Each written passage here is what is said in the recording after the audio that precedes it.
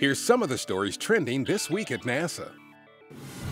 The SpaceX Dragon cargo spacecraft arrived at the International Space Station on January 12, two days after its launch from Cape Canaveral Air Force Station in Florida. SpaceX's fifth contracted resupply mission to the ISS includes delivery of more than two tons of supplies and experiments for the station's crew. For an overview of the newly delivered experiments, including the Cloud Aerosol Transport System, or CATS, visit www.nasa.gov/spacex. A pair of briefings January 15th at Johnson Space Center previewed the first year-long mission to the ISS.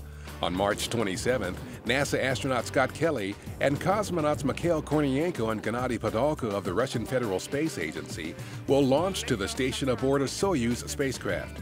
Padalka will return to Earth in September, but Kelly and Kornienko will stay until March 2016 to investigate how the human body responds to longer durations in space in support of the next generation of space exploration. 2014 was Earth's warmest year since 1880, according to an analysis of new surface temperature data by scientists at NASA's Goddard Institute of Space Studies in New York. The 10 warmest years in the instrumental record, with the sole exception of 1998, have now occurred since 2000 cementing a continued long-term warming of the planet with an average rise in surface temperature of about 1.4 degrees Fahrenheit since 1880.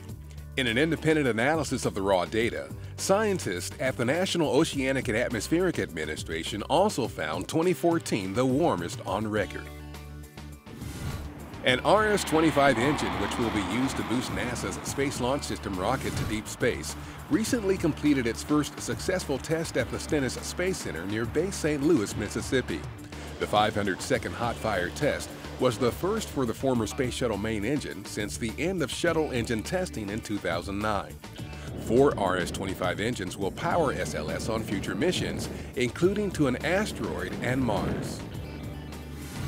A recent summit at Ames Research Center provided details for those interested in participating in NASA's CubeQuest Challenge, which offers a total of $5 million for teams that design, build, and deliver flight-qualified small satellites capable of advanced operations near and beyond the Moon.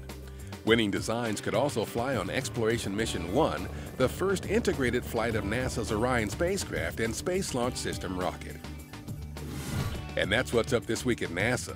For more on these and other stories, follow us on social media and visit www.nasa.gov/twan.